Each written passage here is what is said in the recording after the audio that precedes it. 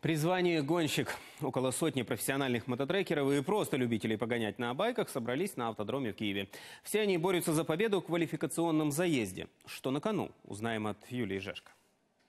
Мотоциклы, шум моторов и запах резины. На автодроме «Чайка» готовятся к чемпионату по шоссейно-кольцевым мотогонкам. Все гонщики проходят квалификацию, показывают лучшее время круга. Участвовать в соревнованиях может каждый, у кого есть мотоцикл, утверждают организаторы. Говорят, тот, кто однажды попробовал себя в этом виде спорта, уже не может остановиться.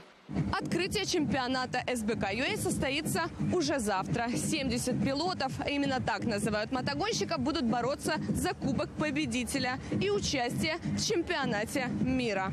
Но перед соревнованиями мирового мотобайка пилоты будут участвовать в чемпионате Украины. Там из нескольких десятков мототрекеров выберут лучших. Я десятикратный чемпион Украины, то есть не единожды уже выигрывал чемпионат. Э, Ну, это всегда приятные и положительные эмоции.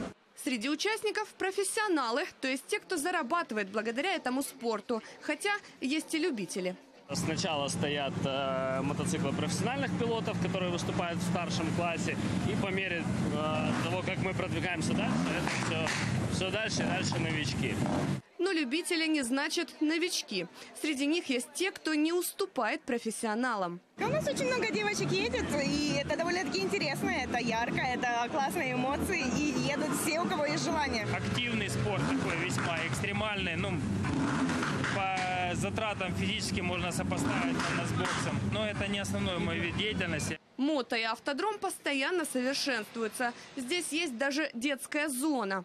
Этот чемпионат проходит больше там 80 лет в Украине. Э, Понятное дело, что мало на него обращается внимание, но мы пытаемся его развивать, усовершенствовать, чтобы было весело в закрытом парке. Делаем вип-зону для вип-гостей, где можно покушать, покурить кальян. Единственное, что мешает проведению гонок, это погода. Из-за неожиданных ливней соревнования и вовсе могут отменить. У судей, конечно, дилемма огромнейшая. Даже в MotoGP и в мировом супербайке, если ливень имеет э, очень большой ливень, гонку останавливают. 10-15 метров ничего не видно. А как ехать в шлеме?